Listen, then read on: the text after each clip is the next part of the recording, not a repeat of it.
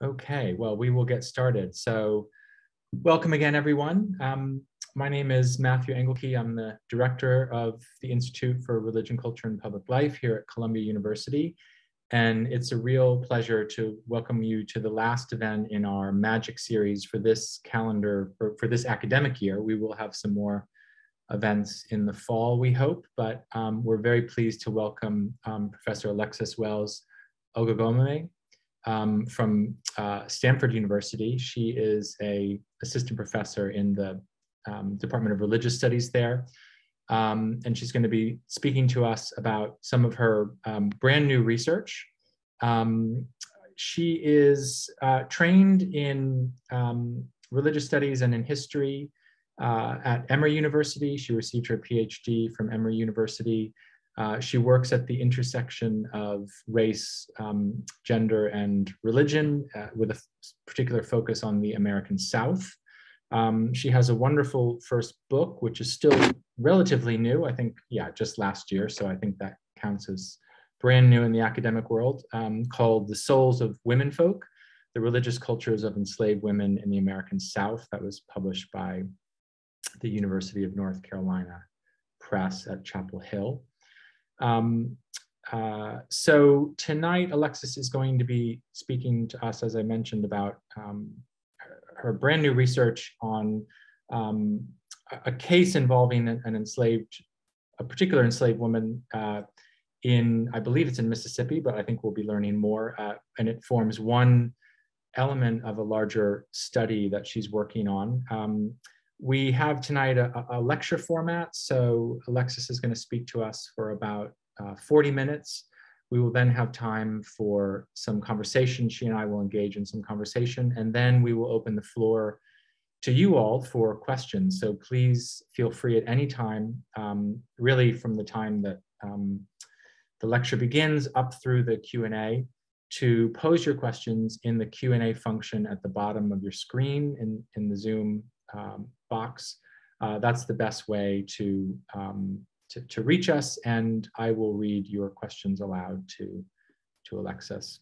Um, before we get started, I just want to offer my thanks to the, the, the, staff at IRCPL for their help in putting this together, especially Madeline De Jesus, who's here behind the scenes, and our colleague uh, Walid Hammam. Um, so yes, thank you so much. And I'm gonna turn it now over to Alexis. Thank you. All right. Well, thank you so much to uh, Professor Engelke for the invitation. I am very excited um, to present this work today and looking forward to a conversation afterwards uh, because this is um, newish work for me. You know, as we were talking about this project, it's it's only been something I've turned to in the last three years which in his historian's time is yesterday, obviously. So um, still very new and still very exciting for me. Um, so I, I want to begin here um, with sort of a, uh, some thoughts about um, about when I was completing my book. So I, as I approached the completion of my book, The Souls of Womenfolk, uh, the editorial team, as many people know at, at any publisher or press, they're going to ask you to suggest some potential cover images. Um, and so they asked me to do this. And since the book was about the religious lives of enslaved women in Georgia and South Carolina, I knew that I really wanted a cover that attested to the complexity of bond women's inner lives. Um, a cover that represented them not just as one dimensional figures, predominantly known as slaves in popular and academic historiography, uh, but rather as humans who experience childbirth, uh, childhood, raised their children, loved, while enmeshed in one of the most brutal systems in human history. Yet, as I went in search of these images, images appropriate to convey the idea of bondwomen's humanity, I was met with some very familiar and problematic tropes. Fueled by uh, anti slave trade and ab- abolitionist initiatives, the vast majority of the depictions of bondwomen presented the varied abuses perpetrated against them at the hands of human traffickers and slaveholders. A number of images spoke to voyeuristic sadism, uh, the, the same sort of sadism that threaded through, I would argue, much of the abolitionist literature. And it was designed to represent the violence of enslavement while appealing to these gender conventions around uh, women. So images like this one, uh, depicting a Captain Kimber who was accused of torturing a 14 year old girl to death for not dancing naked for him, were as salacious as they were heinous.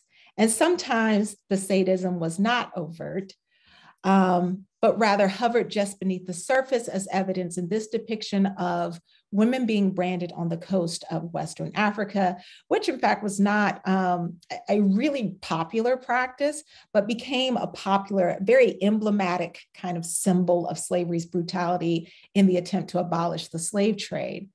Um, punitive scenes like this one also populated the archive, um, characterized by bond people in various states of undress, while slaveholders and others beat them mercilessly, usually for uh, minor infractions. Um, and you have images that are depicting uh, these spectacular scenes of violence to more mundane scenes, I would argue. Um, scenes of public auctions that punctuate the contemporary articles about enslavement in the United States. And so this actual uh, image is one that, uh, though a historical image, you will find this image being used over and over again to talk about uh, the legacies of slavery in the United States. And so these are all scenes of violence mutilation, humiliation, and trauma. And I would argue that these are the scenes that overwhelmingly shape not only how we see enslaved people, but in particular, how we see enslaved women. Um, or women gendered individuals, I should say. And, and I want to make a note uh, that I do use the, the binary language here because slavery was a highly gendered enterprise. And it was gendered in these very complex ways. If you're familiar with Hortense Spillers, you know she makes the argument about the non-gendered nature of it. I deviate from that slightly um, because the structures themselves were and, and the social uh, sociocultural configuration was really demarcated along gendered lines um, as dictated by slaveholders.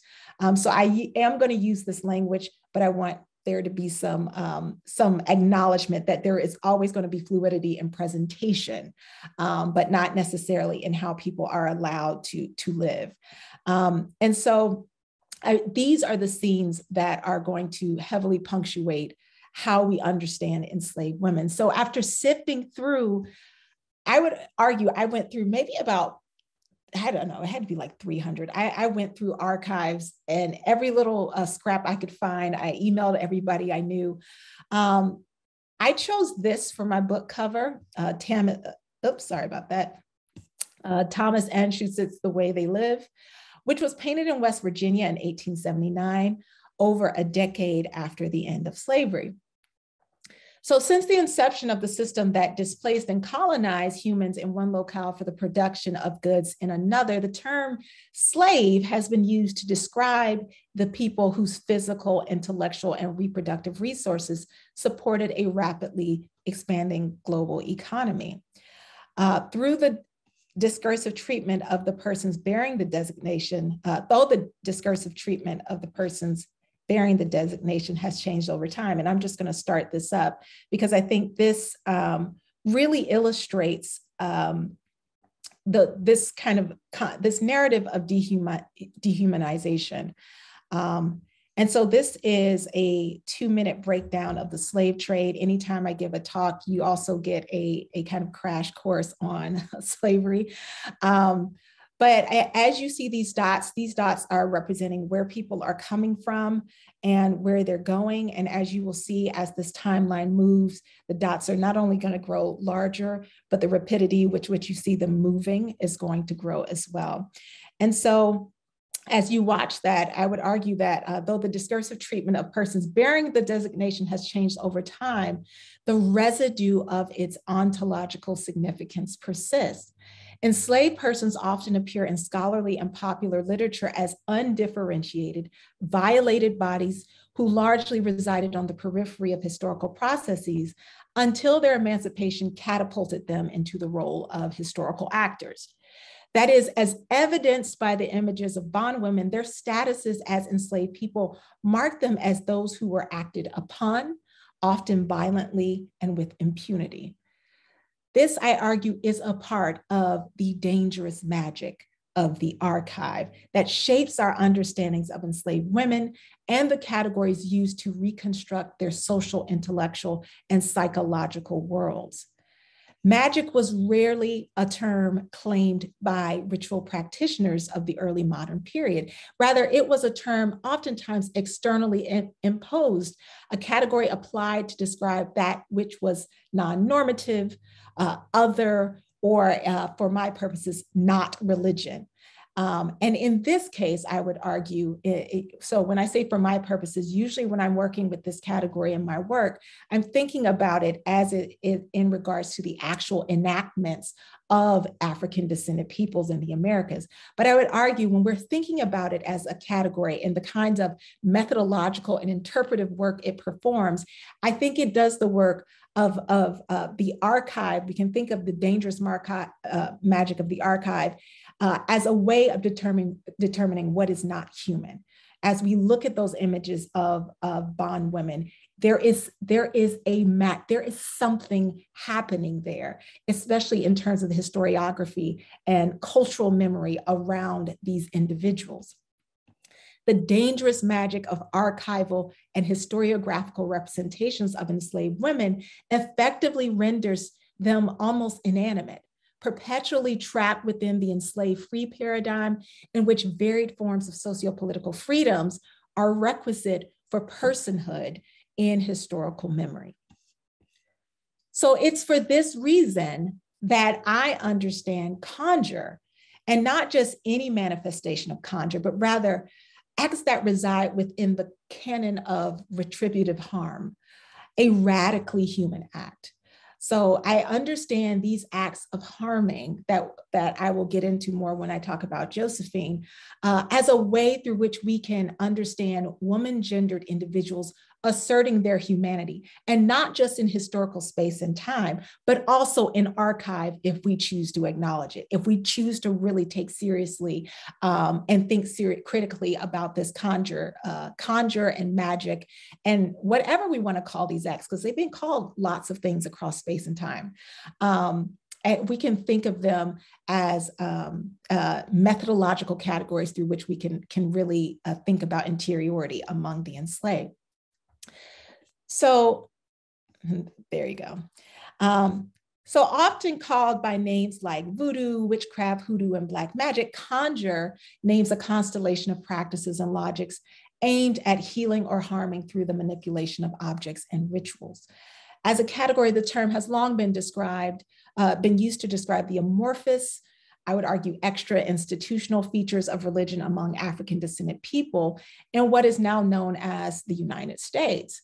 And so, for scholars and observers, conjure has been at once a pejorative way of racializing via religious categories, and on the other hand, a term of reclamation intended to capture the rights that elude legibility within um, the historiography. And really, I would argue within the theor- theoretical Christian field uh, of, of framework of African American religion. Um, and in, this, you can also think about contemporary reclamation movements like hoodoo. So hoodoo is a, is a, um, a companion term to conjure uh, that has been recently picked up by practitioners as a way of reclaiming uh, these legacies from this pejorative uh, connotation. So, as a practice, conjure remained a salient feature of the religious landscape through the 20th century, only becoming less prominent, I, I would argue, following the deaths of formerly enslaved people once we get into kind of the 1930s and 40s, and with the atomization of conjuring practices and cosmologies into the more popular and, and well known Christian denominations, primarily Afro Protestant denominations, where healing assumed prominence. So if you think about uh, formulations like Pentecostalism, this is one of the places I'm thinking about where conjure is atomized and kind of gets distilled into.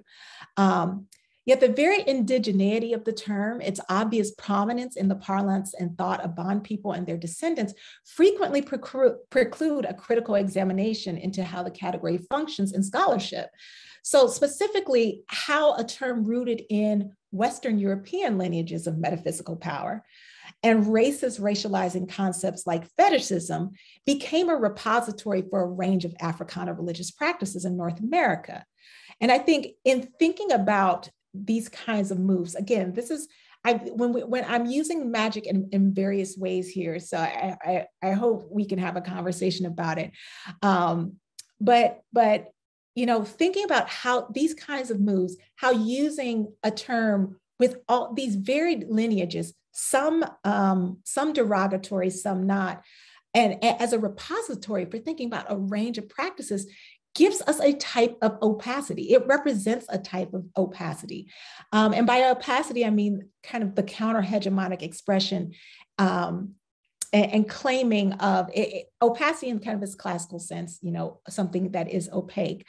Um, but I would argue that it also becomes a, a, a, way of thinking about opacity in the way that Charles Long, the scholar, historian of religion, thinks about opacity. opacity. Not a, and he does this in a way of, um, if you know uh, Du Boisian concepts of the double consciousness, Du Bois talks about the veil. The veil, uh, you know, of course, is something that segregates, but it also protects there's an opacity to that veil that does not enable the oppressor to understand the interiority the in, interior logics, uh, cultural interior logics of the oppressed. And so this is how Long is using the, um, the, the, concept of, of, opacity as well in his work. Um, and I want to think about conjure in this way as a, a counter hegemonic expression and claiming of humanity over and against the discursive and socio-political frameworks that strove to reduce Black humanity to positions of subordination and enslavement. So in this way, you know, what I want to, what I'm going to do today with Josephine, um, it, it's not just about conjuring as an act, but rather enslaved humanity and the ways violent and coercive, the violent and coercive dimensions of enslaved and post-emancipation life appear in and guide the use of categories like conjure. So put differently, it is about the the malevolent aspects of Black religiosity and to what extent um, the categories that we use to understand them, them can help or hinder the project of acknowledging and embracing the humanity of people in our work um, this humanity, this question of humanity is, is one of the many questions that I would argue is at the heart of, of a lot of work um, that is done about uh, the work, the lives of marginalized people in, in the Americas, particularly um, the reductionistic production of Blackness in and through Western European religious studies cat- categories. Um, so beginning with a brief examination into um, these kind of repertoires, I turned to a consideration of the archive um, and its role in reproducing methods, methodologies, and categories that render one dimensional portraits of bond people and their immediate descendants. And so it, in this talk, I want to think about the ways dangerous magic, so thinking about retributive acts of harm, conjuring, um, harming conjure, has the capacity to negate the dangerous magic of the archive. Um, and I do this through a, a case study of an, a really extraordinary person by the name of Josephine. So that all by way of introduction. I'm sorry for the very long introduction, but I get into talking about Josephine and I forget that I have to come to a point. Um, and so I, I, want to, to give you the methodological, historiographical, and really theori- theoretical grounding for how I'm using this category of magic um, and why I think um, conjure itself is both um, illuminating and problematic in, in, in some ways. Um, so now to think about Josephine. Um, and at here you just have her name because like so many like the issue of me trying to find um, find images of enslaved women that did not involve them being acted upon in harmful ways um, we don't have images of many of the people that we study in the archive. Um, and so I always like to put a slide up just with the person's name to acknowledge what is lost in the archive, but also what's there. You know, there's a there's a real presence there, um, even if some of the things that we like to art access as um, le- legitimate historical documents or legitimate uh, documents for the creation of scholarship is not there for these these women. So this the, the case of Josephine is based on really an, a very extraordinary record from uh, Bolivar County uh, Mississippi. And it's a capital case in which two enslaved people, Josephine and George, uh, were tried for the poisoning of the Jones family, which consisted of Lafayette Jones, who was the, the male slaveholder, um, his second wife, Eliezer Jones, um, and uh, Lelia Virginia Jones. There's also a son there, um, but the son as well as the other dinner guest is not are, are they're not poisoned so they're not really at the center of the case um, but on February 27, 1857, uh, Fayette, Eliezer, and Lelia became violently ill immediately after drinking a tea allegedly prepared by Josephine, who was the family's new cook. And because the Joneses' guest, dinner guest, and um, the, who was Mr. Forbes, uh, and it sounds like a great kind of, uh, uh, you know, clue um, episode of Clue or something like that, and not episode, the game of Clue, um, because you, you have all these actors and it's a it's a big who done it. Um, so I will probably shave down some of the details, but feel free to ask me because there was a lot of detail to this case. Um, so the Joneses' son, who is a little bit older than their daughter, um, and their dinner guest, Mr. Forbes, allegedly did not drink the tea and this later heightened their suspicions that the tea was what made them sick. So Fayette only remained, the, who's the slaveholder, remained ill for a few days. Eliezer is going to claim to have suffered ill effects for two years. Um, but Lelia, who was their 12 to 18 month old daughter, is going to uh, succumb to the effects of the poison. So, this is why it becomes a capital case. Um, in the wake of the incident to enslave people, Josephine and George, George was a longtime retainer, are going to be arrested and tried for homicide by poisoning. And so the reason why this case is really extraordinary is because in most Anglophone courts, um, enslaved people are not testifying. And so when I usually see cases, uh, even capital cases, there may be about three or four sentences um, and that's it. You know what they were being tried for, you know what the outcome was, what the punishment was. Um, and pretty much they move on. The fact that this case it drags on for uh, somewhere along the lines of four years, and that we have extensive records of enslaved people documenting uh, or, or testifying, is what makes it truly extraordinary. And I have a couple of theories about why this uh, this might be uh, that we can talk about in the Q and A. Um, and so it's going to commence in not only a very an unusually long case, but one in which you have a series of mistrials. And so there's more and more details are going to come out as these tri- this trial progresses. And the case is not only, only going to illuminate the myriad forms of intimate violence that are characteristic of not only enslaved life, but enslaved life, but in particular enslaved uh, female life.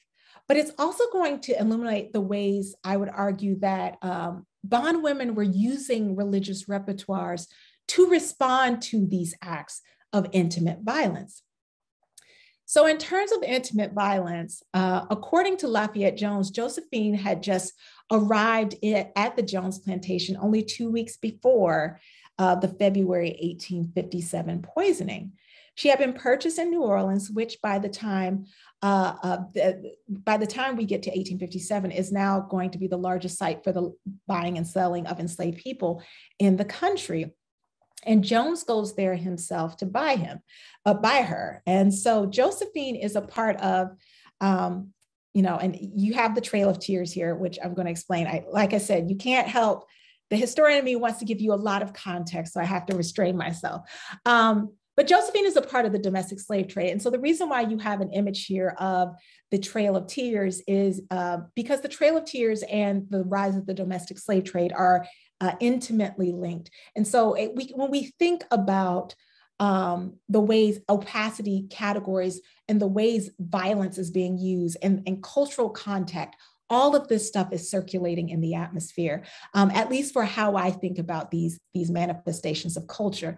Um, so following the end of the Revolutionary War and at the end of the trans transatlantic slave trade in 1808, over 1 million people are going to be moved from the upper South to the lower South. Um, um, so upper South being places like Virginia and the, the Chesapeake area, um, to places like in the, the lower South, like Georgia, South Carolina.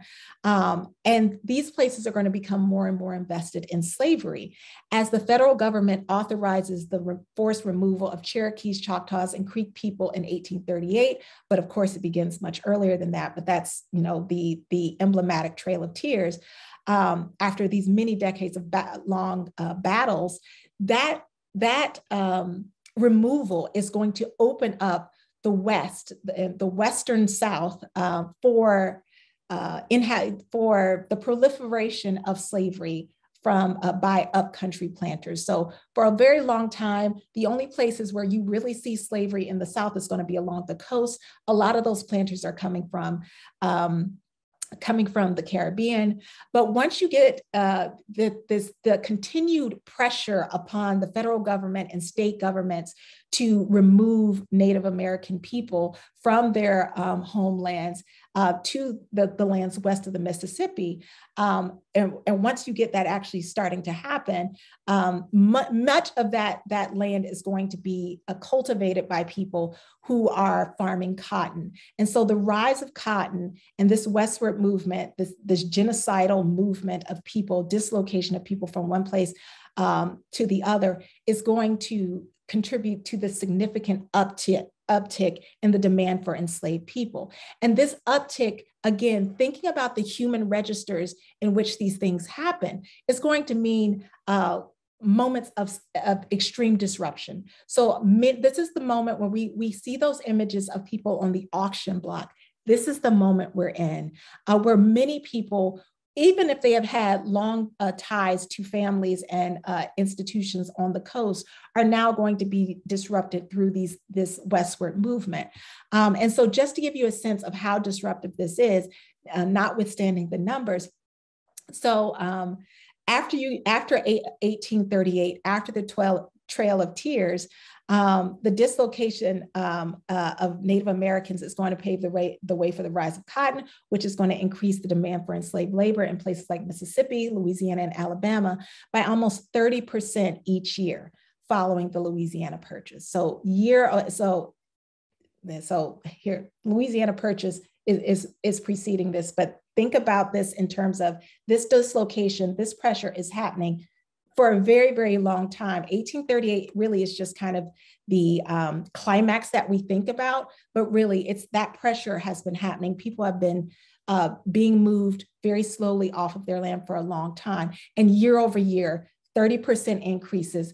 And so much of the, the disruption of the antebellum period is going to be happening around these processes. And you see how they're, they're interrelated. Um, and so, according to Jones, um, and he gives a very dispassionate testimony, Josephine is going to seem a good deal dissatisfied at the purchase. She's going to manifest her pleasure, uh, displeasure, not by any word or words, but by crying and taking on considerably during the sale. And so she's last known to have worked in Kentucky and was one of the nearly 75,000 enslaved people removed from that state by slaveholders. Uh, we really, I, I've done my best to track her down. Who or what she left behind is really unknown. I, I can't even track down how long she was in New Orleans prior to her sale. Um, but according to Jones, Josephine's distress is not over her removal from her family or whatever and whomever she's leaving behind, but rather the fact that her jewelry is has gotten stolen by other enslaved people in her movement from Kentucky to New Orleans. Um, and this is why Josephine is a really interesting person because why and how she got this jewelry, um, it, I can speculate. You know, on some, on one hand, she could have. Um, acquired this jewelry um, from her mistress. This is the least likely, I would like to underscore. Someone could have just given it to her because she was a favored um, enslaved person, but that almost never happened. I would argue that most likely she was gifted it um, because she, she was a sexual consort of a someone's sexual consort at some point. This could have happened either before she got to New Orleans and Kentucky or during her tenure in New Orleans. Um, but she ended up in the slave markets, regardless of whether or not she was favored or she had served in this role in, in, in the past. Um, and so, for a woman who had enjoyed somewhat of an elevated status, um, sale in a yard alongside other bond people are, is really going to serve as a bitter reminder of the tenuous nature of her life, regardless of her position or her status. And so, even if her tears were just for her lost jewelry, um, the jewels represent more than financial loss. That, that's what I want to underscore here. And so after her sale, she's going to travel separately from Jones um, to Mississippi. And, and there are a couple of politics around her installa- installation as a cook in the Jones household. Um, and I think it's going to point to the intimate forms of violence to which they were subject. Um, and in this image here is one of an, an enslaved girl who is somewhere between 15 and 16 years old. And when we talk about intimate violence, we oftentimes are thinking primarily in terms of sexual violence.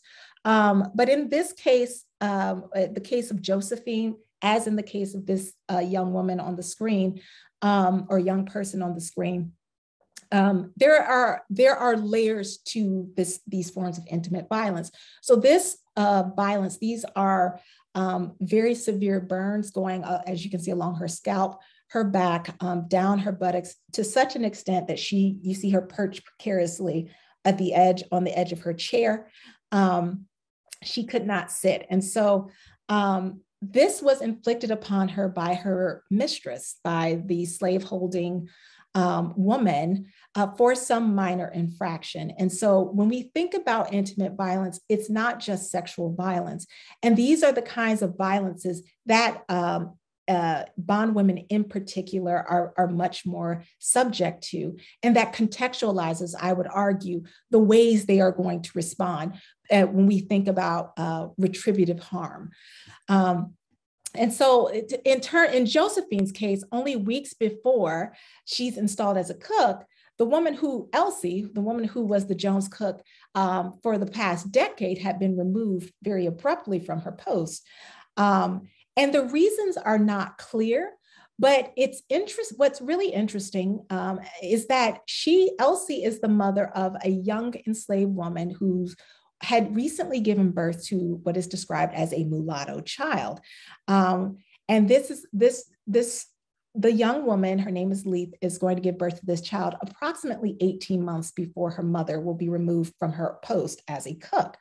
Um, so Josephine, in the course of this case, Josephine's defense is not going to ask whether or not Jones fathered uh, Leith's child, but there is going to be a similar line of questioning uh, during the cross examination that is really going to all but implicate the slaveholder.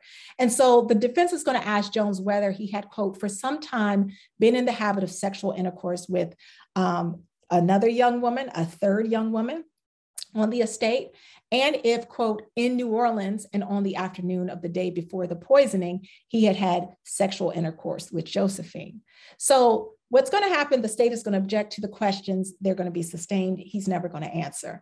But the record silences amplify Jones's culpability. So without question, I would argue Fayette Jones routinely sexually assaulted the bond women on his plantation. Um, and his known assaults of, of this young woman, Eliza, Leith, and then Josephine heightened the probability that um, he, he fathered the, the child in question.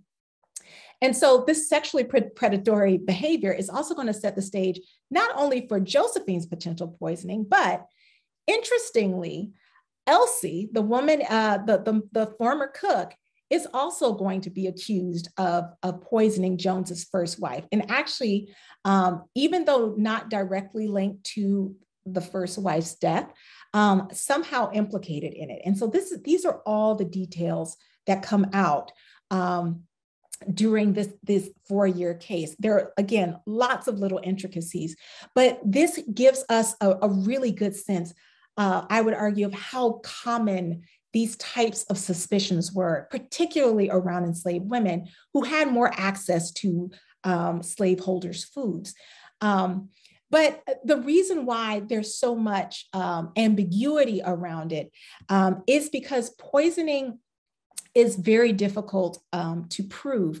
Um, and so uh, part of the reason why this is going to go back and forth is because poisoning looks a whole lot like a lot of other illnesses at this time. And so what the, the, the case we get is um, they are trying to build motive. And in order to, to suggest that Josephine had a motive, this case really had to go deep into the kinds of violences um, that she was being subjected to. So on the morning of the poisoning, Eliezer Jones, which is Jones's 20 something second wife, is going to testify that Josephine prepared something very badly. And when confronted, Josephine, quote, replied impudently and saucily. And so she's going to report this impudence to her husband, and then he's going to use a cowhide or a switch to whip Josephine in turn. And according to Fayette Jones, the slaveholder, she's Josephine is going to quote, seem vexed about the whipping, and she's going to throw her head around to her shoulder to see the cuts. Um, and this is why I love Josephine so much because she is obviously outraged by this, this treatment, which I think again suggests that she is not accustomed to it. And I would argue that perhaps she's not accustomed to cooking, which is why the food was cooked poorly. Um, if it was in fact cooked poorly, she might not actually be a cook. Um, and so after she does, she she makes this this scene after you know rightfully so being beaten. Um, she she returns to the kitchen and then Eliezer Jones, the, the wife, is going to um, call her and, and ask her to do something. She says, instead of responding, Josephine is going to turn her back on her, make a face, and turn over a chair. Um, again, why she's one of my favorite people in the archive. Um, so this time, the mistress is going to call the overseer to whip Josephine. And so, not even two hours after ordering um, after ordering her whipped by her husband, um, she's going to be whipped again by an overseer. Um, and then the mistress is going to appeal to her to prepare her dinner. And of course, this is going to be the dinner at which um, they are allegedly poisoned. Um, so, you know, a couple of things about intimate violence, because what this reveals is, to, you know, to the mistress, and according to her testimony, the mistress is going to say Josephine seemed to be in a good humor by the next time she encountered her. Um, but again, these forms of violences are oftentimes go unnoted by slaveholders, which again is a part of the archive of, I would not argue it's dehumanization, it's altered humanity. Um, it's, it's part of the art of, of humanity that can be violated consistently. Um, and so part of the reasons why we get these depictions, um, I think in ways that are, are considered offhand is because it was so mundane. These were mundane, routine, uh, even in even in their being spectacular. These were mundane acts uh, of violence, routinized acts of violence um, inflicted upon them. So, um, in the historiography of resistance to American enslavement, more spectacular acts like insurrection or dangerous acts like absconding are oftentimes assumed center stage. However, ensl enslaved women are the least likely to participate in either act on account of the webs of interdependency that often mired them more thoroughly in systems of slavery. And so I want to be clear enslaved males oftentimes often uh, oftentimes neglected to run away on account of familial ties. Um, but by far uh, women's ways of responding to their enslavement varied on account um, uh, of the often dire consequences of open defiance for themselves and their families. Thus acts like poisoning constitute an opportunity cons- to consider how um, uh, to consider forms of, of harming practices that, while not unique to females, gendered women uh, within the binary, were at least more marked along gender lines due to the, the conditions of enslavement. And so due to their roles of, of midwife, uh, their roles as midwives and midwives' roles as the primary arbiters and keepers of pharmacological knowledge within a number of, of communities, enslaved women were oftentimes credited as the progenitors of conjuring knowledge within enslaved communities. And this knowledge remained a part of female communities anchored in uh, oftentimes reproductive knowledge systems. So uh, I talk about in my first book how birthing spaces become these, these centers of, of, of female knowledge and ritual centers, because a lot of these, these uh, more covert knowledges are around reproductive systems, because this is this is going to be a largely untouched realm of enslaved female experience, one where surveillance, while still there, it's always a constant, it's, it's nowhere near as heavy as in other aspects of their, their lives. Um, and so um, you know, oftentimes these, these kinds of acts uh, are oftentimes situated in kind of broadly as resistance in the historiography, historiography of Southern slavery. Uh, slavery. Um, poisoning really required knowledge of, of chemicals and um, botany, the properties of substances, substances required to induce desi desired effects. Um, and it resided, resided within an ethical system of conjure that included acts of healing and harm. And when I say ethical systems of conjure, I mean um, there had there were ethical rubrics that people used to determine how and when they deployed these acts. Um, and, and overwhelmingly, we see the discussion of conjure is ha happens and these types of harming acts happen around Obeah and Jamaica um, and places where they're going to be more criminalized. Um, however, I, I, would argue that, um, you know, the myriad atrocities of, of slavery expanded and nuanced the purposes and effects of religious harming. So when we think about religious harming, it offers us a window not only into how people are responding to these more spectacular acts that we know in the archive, but also how they're responding to one another. Um, and I would argue that revenge might certainly fall within the category of religious harm um, in light of the myriad, you know, violences inflicted, the intimate violences, it might be more apt to understand uh, acts of poisoning like Josephine's within a system of justice adjudicated and enacted by enslaved women in particular. So that is a part of the ethics of, con- of conjure. Um, and one of the ways I think we can think about enslaved women, so I think conjure offers us a window um, into thinking about interiority among enslaved people. But in when we think about poisoning as an act within this larger repertoire, and one that seems to be assigned or, or um, um, uh, what, what's the word? Not assigned, but um, one that is attributed more more frequently to females.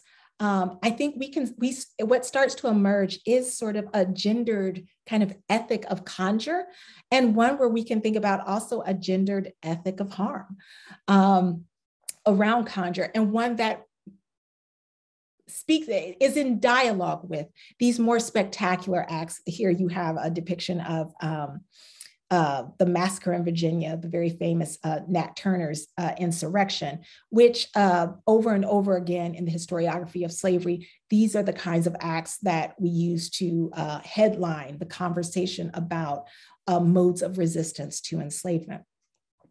So to conclude, I, I end here with um, kind of a, a, couple of provocations. Um, and um, I love this image because, again, when we think about opacity, I think this, this image very beautifully um, depicts opacity. There's something about the image of this formerly, this is an actual historical image of a formerly enslaved woman. Um, and just her look is highly contemplative. And I think there, there's just a range a wealth of knowledge um, and um, um, not only knowledge, but um, religious epistemologies uh, that are, are housed behind the lives and, and the eyes, um, the archival lives of enslaved women. So here, conjure was not merely something people attended to in times of crisis, but I would argue was in fact a regulatory force among bond people, a threat of the human capacity for retribution, aggression, and in some cases, pettiness, in spite of the rigors that united them. Thus, conjuring practice, practices offer a window into bond women's, uh, bond people's generally, and bond women's in particular, preoccupations, their conflicts, and other features of relationality that are more difficult to access via the archive. Conjuring practices are an archive of materiality, ethics, ritual, and the dynamics of power among a group whose pervasive silences in the historical record often precludes a window into these more interior aspects of their lives. Yet the paradox of the archive is that its very creation and the documents and artifacts of which it is composed are a production of Western European and white American epistemological orientations and material concerns. It was the seeming anomaly of Black people's conjuring and its utility in the project of demarcating whiteness vis a vis Blackness that gave historical life to the obfuscating typologies, things like conjure, superstition, fetishism versus religion. Therefore, accessing the opaque elements of religion among the enslaved or interiority among the enslaved requires methods and methodologies invested in the scholarly reconstruction and acknowledgement of enslaved people's humanity outside of the Black white enslaved free dialectics.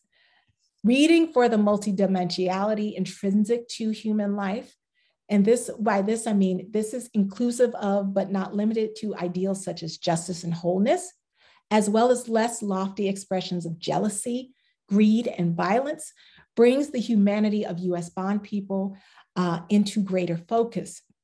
In this way, examining harming acts of conjure offer one route to grappling with opacity in the historical methods, uh, archives, and methodologies um, that scholars use to understand the lives of the enslaved and the formerly enslaved. Finally, attending to the less lofty, more visceral and problematic aspects of enslaved life, attending to people like Josephine, whose ambiguity just jumps out of the record because she never, she's never convicted of it, of, of, of, of the crime. Remarkably, I have no idea I don't see any record of her being convicted of it. Um, and I even the one time uh, I, I cross referenced it with a legal scholar who I said maybe they know more about how to read legal documents and, and what the law might have said. And same trail, did not find any evidence that she's ever uh, convicted. So when we're attending to um, people like Josephine, who had her enslaved, the people who testified most um, readily against her were her fellow enslaved people. The people who marked her as evil, who said that she was a conjure woman in this very derogatory fashion, and said that she absolutely did it somehow, um, were her enslaved people, were, were her the people uh, with whom she lived and worked, if, if only for two weeks. Um, and those who came to her defense were her former slaveholders. So this is again this is a part of the complexity of these individuals. The way she's situated within her community was not as a heroine.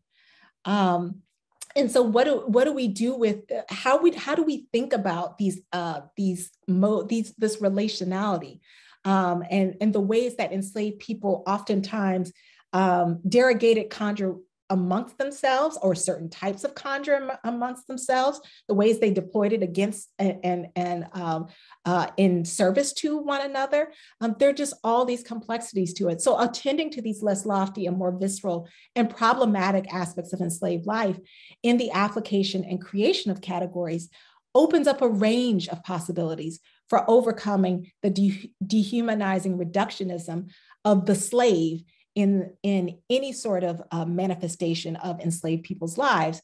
Uh, and it does so in favor of approaches that acknowledge the diverse personalities, inclinations, and repertoires of the people who bore the designation of slave.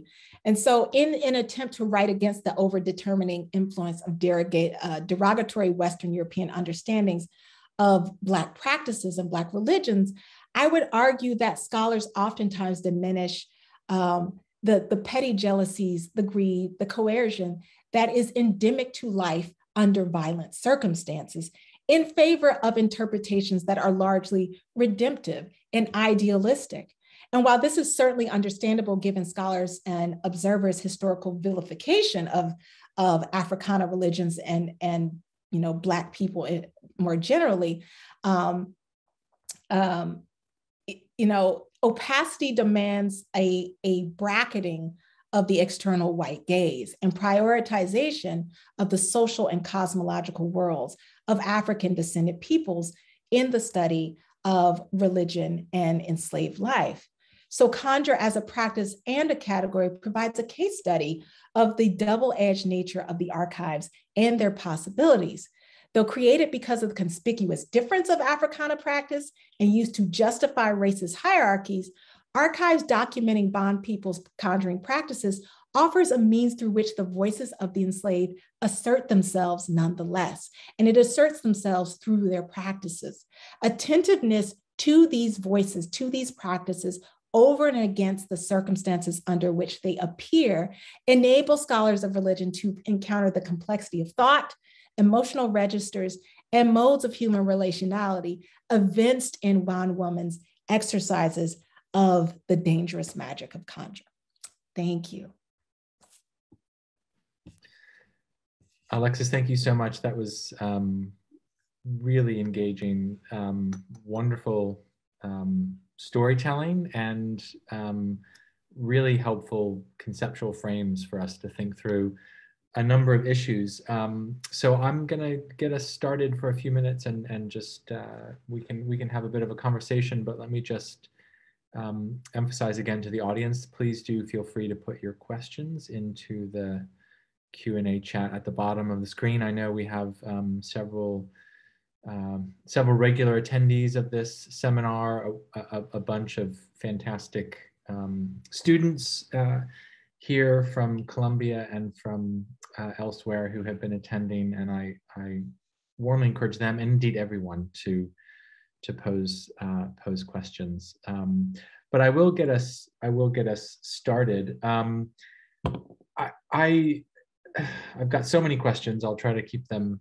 focused, but maybe just on the the specifics of the case of Josephine um, a bit more.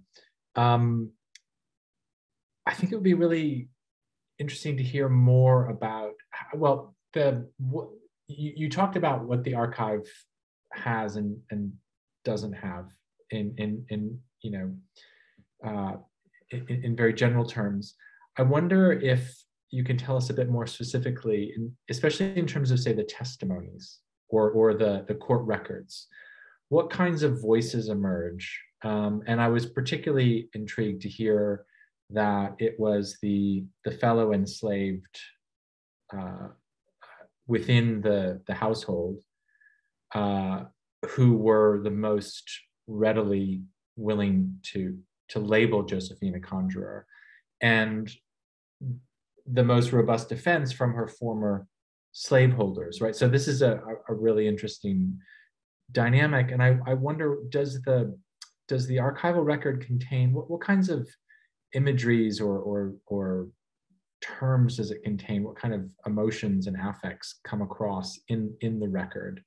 Um, it would just be, I think, really really interesting to hear that that level of of um, of detail if if it exists. No, absolutely. Thank you for that. And yeah, I was I I crammed a lot into this talk because um, I tend not to.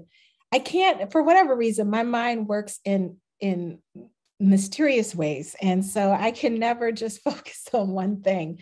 Um, and I'm always thinking about categories, but this case really is fascinating for because so a again i like it's a completely anom- anomalous case I, I have the fact that I have more than a page of, of records on this particular case is what makes it so extraordinary. Um, and so, uh, yeah, the, the, specifics of the case. So, Josephine, um, we do have Josephine's voice. You have a couple of the reasons why I know the things about Elsie, because she's one of the people who's de- deposed the former cook a lot of enslaved people on the the um, the farm are going to be deposed as well. And I, for whatever reason, Josephine has defense attorneys. I have no, again, I, I, I have no idea how or why she does. Um, and they're they're quite good. I, I mean, I, when you read the case, they are asking they're asking really tough questions. Um, and, and so, in terms of her former slaveholders, they're going to Inter, uh, they're going to, Josephine was a nurse for them in Paducah, Kentucky. Um, they, and as a nurse, she's likely taking care of younger children. Um, it does not give me a sense of how long she worked for them. Um, it just says that that was her last known employer. Um, and again, I don't know when she gets to New Orleans, and I don't know why she has jewelry. Um, so lots of things I don't know, but um, because everybody on the farm is going to be deposed, overwhelmingly, I mean, no, every because so a few things. It's a kind of an either who done it and somebody had to have done it. So it's either George, uh, who is this longtime family retainer, or Josephine, who's someone who just got to the community two weeks ago.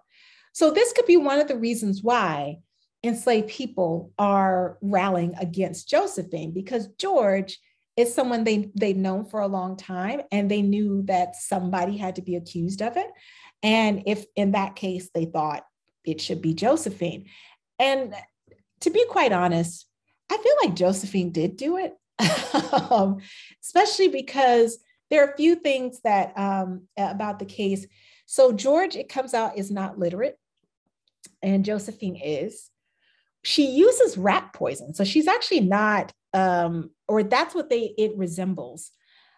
Um, it, but what rat poisoning? Um, well, first they say it's it's uh, strychnine, um, and but then they bring in Oxford specialists in from Oxford University. I, I again, this case just continues to to blow my mind. I have no idea why they're doing this in Mississippi of all places, but they bring a specialist in from Oxford to examine the contents of the teapot that was used. And apparently, the specialist finds blue crystals um, on the bottom of the, the, um, of the um, teapot. And then also, uh, they bring another physician in to discuss the, um, the symptoms, the victim's symptoms. And this, together with the teapot, they say this is consistent with arsenic poisoning. Um, and so the question becomes well, where would they get these substances from? The reason why George is implicated is because George apparently found something that is poison in a ground in the mud the year before. The only reason they know this is because um, he takes it to the overseer because he's not literate and he asks him what it is, and the overseer, the overseer tells him.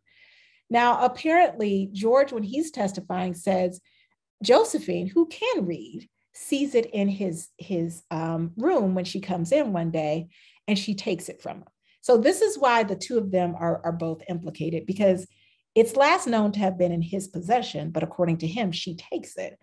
Um, and he he begs, he claims ignorance, saying, you know, I was told what it is, but I, you know, I don't really know what it is, which could or may or may not be true. Um, whereas we know Josephine is literate is literate, so she she apparently takes it. So there are um, this is why I think you you have a lot of there's a lot of expert testi- testimony. Again, like I said before, because um, the fee- the reason why you're going to see this a lot less. So if we pull out a little bit from Josephine, and um, just kind of think about the larger context of poisoning. So Diana Paton um, has written about poisoning. She talks about it in, in the Caribbean in connection to um, Virginia in particular. And she notes that in Virginia, I, enslaved women are overwhelmingly being prosecuted for poisoning. But the problem is poisoning substantiates uh, these the, the abolitionist claim that enslaved people are unhappy and there, act, there is active resistance beyond just the insurrections that they're, of course, going to attribute to some sort of mental illness. um, and, and, and just people being more wayward, spiritually wayward, uh, misled, they have all these justifications. Whereas poisoning, if it's happening and it's rampant, um, then that means there's more widespread, dis, um, widespread um, um, uh, animus towards uh, slaveholders. And so, um, you know, the, the, there is, I say all this to say, there is a vested interest in making sure that anything that looks like poisoning that is prosecuted is indeed poisoning.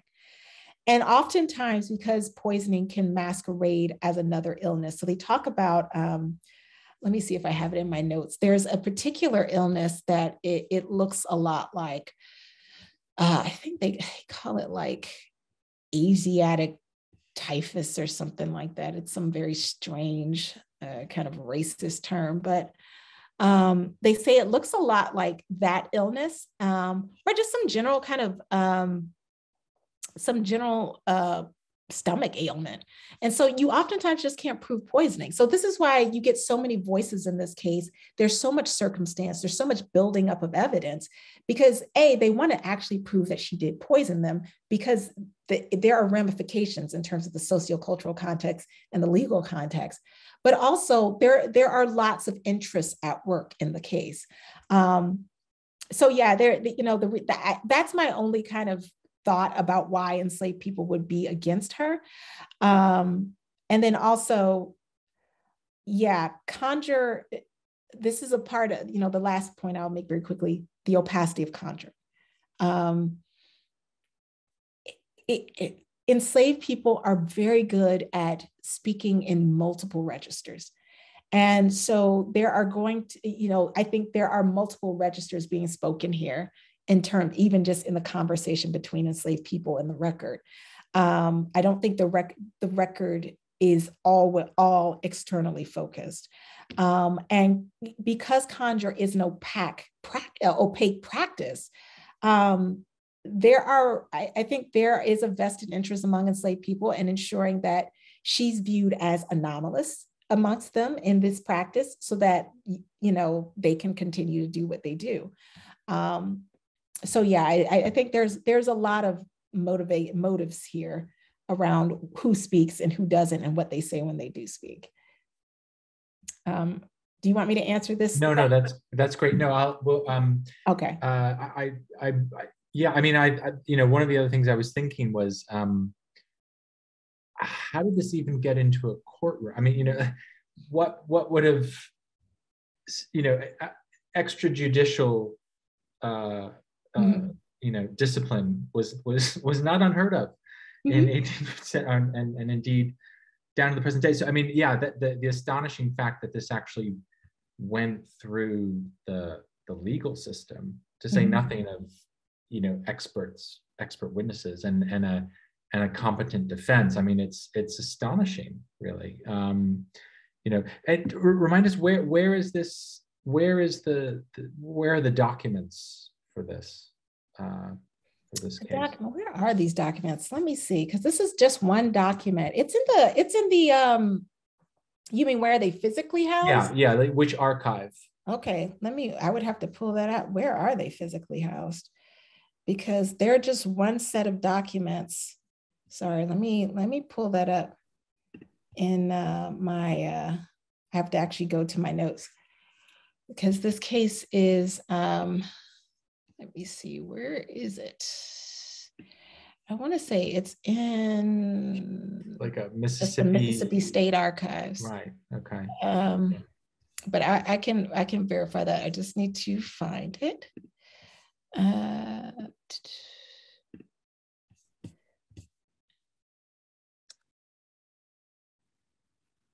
yeah. Well, it's it's yeah. It's in the it's the it's physically it's the Mississippi. These are the um the criminal cases from 1818 to 1872. Mm-hmm. So they are, you can, they are already compiled like it on um, there, you know, you can get them in microform or you can, um, I don't know where the actual, because I, I read it, you know, the digital version. Mm-hmm. Um, but well, I don't know a, where yeah. they're actually ha- housed. That's a, that's a, that's a, um, and yeah, I mean that that um, well, I have some methodological questions. I mean, it's of course we are in the 21st century, yeah, so a lot of archival work is now um, online. Um, but maybe we can get to to to those questions in in, in a few minutes. But I, I just one more one more question about the the case, and then maybe some of the methods and concepts, and then there are a few questions now. And please, those of you in the audience, uh, we have a few questions in the queue, but please feel free to to add to add yours. Um, in in terms of so um, it, it's interesting that Josephine seems the kind of classic scapegoat character figure, right? I mean, and which is so um, common within um, the discourse and histories of, of witchcraft and witchcraft accusations, right? The pointing of a finger. Uh, and it's interesting that in this case, it's to the to the stranger, right? And to the stranger who has certain capabilities, that is literacy. I mean, these these are just really interesting elements. Um, and you know, it, it's um, you know, th- well, this maybe gets to one of the questions that that came up, and I might um, thread a couple more of my own in. But um, uh, one of the questions from uh, a, a, grad student here at Columbia, Elvira, um, asks, um, this was really fascinating. Have you seen allegations of conjuring come up in other trials or legal cases not related to poisoning? Uh, I wonder what other forms conjuring could take. Yeah. So what are the what are the ways in which conjuring gets gets recognized as that? And and you mentioned that this was a, a I think you put it uh, as a, a kind of indigenous term, that is to say, a term that practitioners might use. But is this the kind of term that would have come up in the did it come up in the trial as that or but in any case the the, the broader question of um, are there other um, other trials or legal cases not related to poisoning in which conjuring comes up? So you know i think the two what your question about method or methodology in particular is is related to this. So not really no. Um, the interesting thing conjure doesn't come up at all in this case. And the reason, so the interesting thing and the problematic thing about conjure or any sort of practice like this in the United States, as it is assigned or thought about in relationship to African descendant people. It's a high, it's a highly visible term. It's a, a, a very widely used colloquial term, especially in its application to African descendant people post um, you know, I would conjure is heavily used by the 19th century. You see it kind of starting, I, I would argue, in the 18th century, kind of being used more like because conjure is a term that comes out of Western Europe. Like it's it's a term that comes out of the Anglophone world. Um, so conjure is not originally just kind of something that African descendant people did, but it becomes the term that sticks with uh, their practices most most um, for the for the longest length of time. So to to the question, um, no, this is one of the ways that I am trying to um, address the opacity of conjure itself, because there are a range. Conjure is sort of this. It's an indigenous term but I think there are meanings that need to be parsed even in its indigenous parlance. I think, again, this is a part of the multiple registers in which people are speaking. So when they say conjure, it can be everything from um, it, it's conjure resides, um, it could be everything from medicine, you know, to, um, you know, and actual practices of healing medicine to um, harming medicine. Um, and, and one of the ways I was recently talking to Ras Michael Brown about this, and I think he very, um, very um, accurately situated it within the West and West Central African cosmological context, in which all of these acts reside within kind of the same field. So you are deploying similar practices just towards different ends. Um, and so that means you could use one term to describe a host of practices. Um, and people oftentimes did because for them, they understood what they were talking about. Um, whereas for us, that's the methodological problem. That's part of the opacity of conjure. When they say conjure, they mean a lot of things. And so I'm just kind of trying to parse through what they mean. But so that's a piece of the methodological problem. On the other hand, um, you know, um, it, his, the, the historical problem of conjure is that, you know, after Salem, and I, I, would say like maybe about three decades after Salem, like immediately after Salem, you get this, this declaration, okay, witchcraft isn't real. These things are not real. You, you should not accuse anybody of the, the you know, there is no verifiable basis for these practices. However, um, there is a there there. That's that's one thing I say. That there it continues to be fear, um, and the fear is what comes up in the the legal archive. So they do not adjudicate anything called conjure because that would suggest that there is a, a material reality that is conjure. It's, so, and this is over and against places like Jamaica, where they are actually prosecuting obeah um, because you know they're talking about if you have bones in your possession, if you have feathers in your possession, then you are practicing obeah. You don't see that as much here. You see it a little bit in South Carolina, but that still that it's it's it's not a heavy, um, heavily regulated. Definitely not to the scale that you see in the Caribbean. Um, so, but so the question, the methodological question, and the you know is how do you discern a phenomenon that is felt in the archive. There's real fear of this. And I recently talked about you see people um, not so much in um, legal records, but in more of like newspapers. So they don't, because you can't, you're not trying people for this, because again, it's not a thing we acknowledge in the law. But in the, the newspapers, you see um, lots of, you know, I shouldn't say lots, you see sprinklings of people uh, accusing enslaved women of poisoning. You also see this wonderful record of, you know, um, kind of the commercial and uh, popular interest in things like necromancy. You know, you, you see all that stuff still circulating. Um, and then the suspicion, the, the kind of fear element is there um, in, in this one case, it was not a legal case. He tried to make it a legal case, but he was unsuccessful.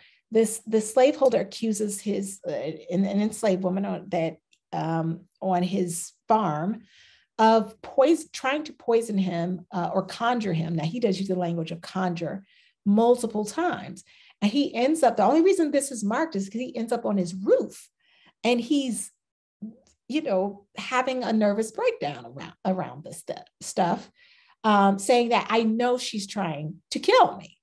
Uh, and everybody's saying, and, and the re- way it's written up is like, oh, you know, old man whoever is, you know, was on his roof and kind of going a little bit crazy. And he keeps up with this claim that she's trying to kill him.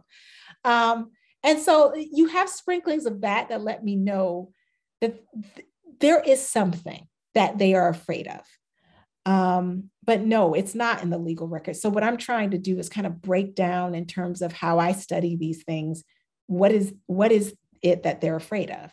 Um, what are or what is it that they're accessing? Because sometimes it's not even fear. Sometimes they're actually coming for help in terms of healing medicine. Mm. Um, so there, I think there are lots of ways to kind of break it down. Yeah, no, that's fantastic. A very quick question from um, Chazelle uh, who just wanted the name of the scholar you've been talking with about the meaning of conjure. You mentioned someone you were um, corresponding with recently. Oh, Ras Michael Brown. Is that okay. is that maybe we can put that in? Uh, mm-hmm. um, yes. Ras Michael Brown. Yes, he wrote. What he doesn't write about conjure in particular, but we were talking about the the West and West Central African cosmological context in which all of these things resided. Mm-hmm, mm-hmm. Um, I'm trying to think um, who you would who if you want a written kind of text on that. Um, his text would be fantastic for thinking about that context in in the Americas. Um, it's and mm-hmm. he he works on Congo and the Low Country, and it's it's absolutely mm-hmm. amazing.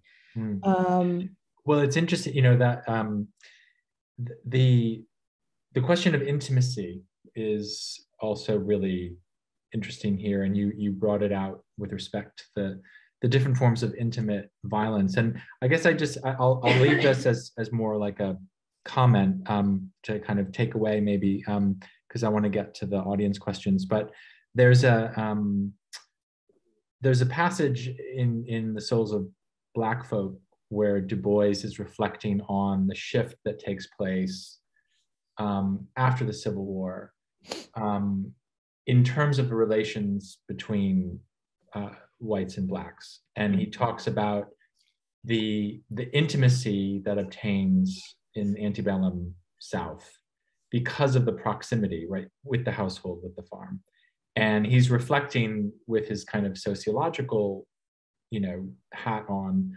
about how segregation takes away that intimacy, right, and and creates a kind of um, complete alienation between white and black um, communities, even within, say, a given a given town, right? So it's the kind of the shift in the patterns of connection or or dynamics of connection that people have. And for Du Bois, it hinges on this idea of a certain of a certain kind of intimacy, right? Um, but I think that's it's interesting because you know so much of the literature on magic and witchcraft, to include from Central Africa, um, focuses on the fact or makes the argument that magic and witchcraft is practiced in relation to your intimates, right? That you don't you don't have to either fear magic from from a from someone who's not part of your social world um, or and you also wouldn't go to someone outside of your social world for the, the helpful kind so there's this sense that it, that magic indexes or marks a certain kind of proximity and familiarity with a group of people.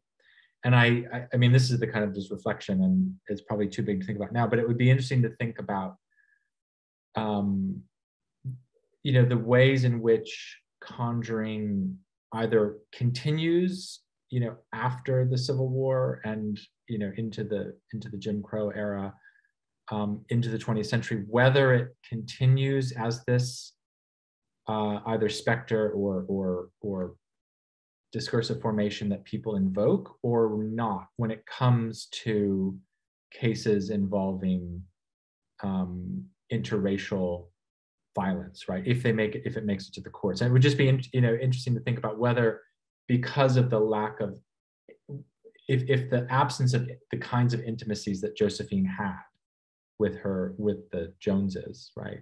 Whether that would affect so it's just it's a, a, question or a provocation to think about the relationship between intimacy and conjure or magic and the kinds of social connections we have but i'm going to leave i'm just going to let i'm going to let that sit with you because i, I do want to get to the questions from the audience. Um, there's some great ones. Um, so uh, one is from justin linz who is a um, fantastic phd student at nyu um, are you interested in thinking about conjure and or poisoning as expertise or expert knowledge? I think this is a compelling frame for analyzing magic, especially the magic of subaltern groups, but I wonder if that is a line of inquiry you want to pursue with Josephine's case and why or why not.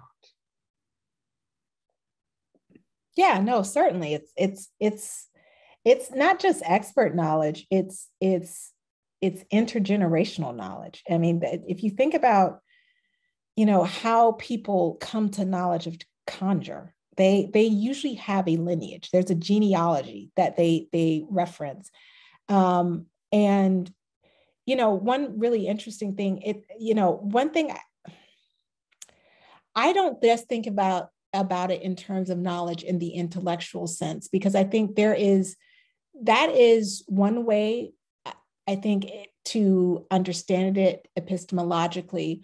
Another way is knowledge in the very embodied sense, because in so in in a number of the West African cultures that I, I study, it's about blood. It's literally you have a capacity to do different things because you inherit it genetically. It's not just about knowledge that is transmitted in intellectually. Um, there people certain people have different capacities because of their because of their genealogy but also because of circumstances around their birth um, so it's it's multi it's a sociocultural knowledge you know it's it's it's there are lots of ways i think to think about it as expert uh, expertise but expertise that goes beyond the intellectual solely. Um, so yeah that that's definitely how i'm thinking about it. In josephine's case i don't know where she gets the knowledge but i do think that um, communally there there are lots of places even if we're just thinking about it in sort of a um, kind of a sociocultural exchange um, and and osmosis sort of just being in these contexts where people discuss these things. Um, you know her being in new orleans is going to be really significant if i could ever determine how long she was there. Yeah no um, um if if yeah uh, be wonderful to magic up some other sources on that. Um, but uh, so thank you for that. So um, another question from uh, one from Dave Collins. Um, how might conjuring practice interact with or contribute to the conjurer's sense of self and identity? Uh, I'm a longtime meditator and I'm thinking of how my practice helps me know that my identity, as suggested by my society, in effect isn't the real me. Um, that's a good, eh, that's an interesting question. I, I'm not really sure how, so, you know, one of the, the problems with the sources is that I don't know how they understand this in a very interior way. Um, what I'm doing is reading practices and I'm reading the consequences for as a way to to access how they might have used it, the conditions under which they might have uh, deployed it, how they might they might have understood their deployments. But there there really is no hard and fast way for me to know how kind of whether or not this is shaping them in terms of how they know um, themselves in a more intimate or interior or kind of contemplative way. I mean, one thing I will say is I think there's a sense of situate like there is a sense of position that goes along with the expertise, certain levels of expertise. So, in some ways, we can think about identity um, and um, certain capacities to deploy um, ritual practices that are subsumed under the categories of magic or conjure or whatever they're called at the time. Um, but I, I, would say that's only in the case of people who are um, specialists. Conjure is so ubiquitous that I think a lot of people use it, but they dabble, you know, they, they're not, it's, you know, it's like your grandmother who gives you really good advice, but she's not a therapist, you know, so that kind of thing. But that's, you know, that's an interesting question to think about. Wonderful, thank you. So um, the next question is from Seth Gators. Um, for you, does the category of the opaque reach beyond what the category of religion signifies? Is there a sort of liability clause with the ways that you're using the category of religion, where you're conscious that it remains an insufficient term in referring to the interior lives of the formerly enslaved? Sorry, let me let me. I have to look at that question because I'm mm-hmm. missing the back, the second part of it. They're like, "How's went the, do you find the category of a opaque reaches beyond what the category of religion signifies? Um, hmm, does it reach beyond what the category of religion signifies? Let me think about that. Mm, mm, I, I would probably say no. Um, with the ways that you're using the category of when where you're conscious that it remains an incident and referring the intent of the form of the Um, no, I, I you know, I I think there's a yes and there's a no to that question, that answer, my answer to that, because I think in some ways all categories are just approximations, but we have to use them because we're trying to describe, we're trying to get at an experience. Um, I think religion is sufficient in the same way medicine is sufficient in a West African cosmological context to, to contain things like a, range of acts um, that go beyond how the term is being defined. in um, particular contexts. I think, um, at least for me, I should say, for me, epistemologically, it's important for the scholar to push into the context of the people that they're studying to define the terminology that they're using. And so for me, my definition of religion is capacious enough um, to contain the, the kinds of formulations I'm looking at. Um, yeah, so I, you know, and I, I do think opacity for me, um, if I'm getting at your your question, um, it doesn't extend beyond religion. For me, it, it just op- opacity is a feature of the religious strivings of African descendant people. It's, it's just a necessary component of it because of the historical conditions into which they are forced to formulate, you know, and understand the English term religion. Um, so their ways of approaching the category are always opaque. Um, or I shouldn't say always, but seem to be, at least especially in the historical moments that I study, um, opacity is just a feature of religiosity. Um, but it's necessary for a lot of reasons. But I and I think it's not just necessary; it's also just it, it's their cosmological orientation. It's the orientation from which they emerge in many of their contexts in West and West Central Africa. Um, you know, things are hidden. Knowledge is there are certain layers of knowledge are hidden, and that's just how it goes. You get access to knowledge as you go through certain ritual processes and, and reach certain milestones and prove yourself worthy, you, everybody does not have universal access to knowledges. And, and even if you think you do, there's an, a level of opacity there. Um, so for me, I, I kind of, you know, I'm trying, I'm working, I'm doing my best to um, to orient my definitions in those kinds of cosmological kind of ways of, of approaching um, phenomena that we term religious. Um, so yeah, I, I think I for me, you know, I use religion, but I, I think there you can make a case for other terms.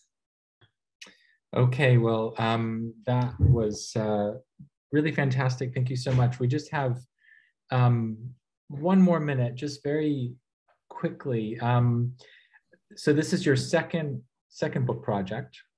Um, and um, I wonder if you can just um, share with us, you know, how the, you know, how the way in which you're you're writing this project um, is kind of building on your your first and and maybe also departing from it. I mean, to get a sense of um, as a, as an author, because um, you know we have some authors in the audience and and and grad students who are going to be writing dissertations and books. Um, so uh, I thought it would be helpful just to end with some reflections on, on you know, how you're approaching this project in a, in a way that's kind of building on your earlier work, but also maybe distinctive from it. No, I love Very that. Cool. That that's such a great question. Um, yeah, so so actually, I started being really interested in um, this kind of stuff in grad school. So I I wrote and did a massive bibliography on witchcraft in America. Um, and I did, I paid particular attention to the ways Africans and African descendant peoples were being understood or not in the historiography. And um, that work actually is, that's what started it. And so in the, in the first book, in the dissertation, it's just a, a chapter. Um, and I'm not, I'm working with um, you know the, the sacred imagination. So i'm not even working with kind of the phenomenon the ritual practices themselves. I'm thinking about the, the whole world that kind of constructs or, or, or contextualizes the practices. That's a better way to say it. Um, and so it, you know it just it's kind of been a, a steady burn. And it's it's it's the practice that i think a lot of um, you know our our um, grad school professors kind of the really good ones tell us you know just keep writing down your ideas because you have no idea what you'll come back to and and and what will inspire you and so as i was kind of doing the dissertation and then really just you know getting into the work of finishing the first book my love and my interest in this just continued to grow um, and so that the second project just just was there for me, uh, waiting for me. And so in the pro- in the thinking process, um, I was already in a space um, since grad school, since before I even wrote the dissertation, to think about this project. Um, but in the the transitional process, in terms of you know the, the lessons i learned in terms of method and methodology in creating my first book is are really the ones i'm still deploying here and just not not limiting myself to how things have always been done. You know, part of the fun of research for me is just that, you know, we get to create. It's really a creative labor. Uh, we create how we do the work, we create the questions. Um, and so I really, honestly, allowing myself to do what I, I really want to do. Um, eh, you know, I, I, that's, it's, it's, it's very, basic. Um, but there are certain intellectual questions and ways that we, I think, can formulate questions that are not, um, that do not honor the work we really want to do. And I like the malevolent aspects of this. I, I, you know, a lot of people want me to come and talk about, oh, how redemptive conjuring is and the healing. That's great. I'm not interested in that as much. I'm interested in how people hurt other people.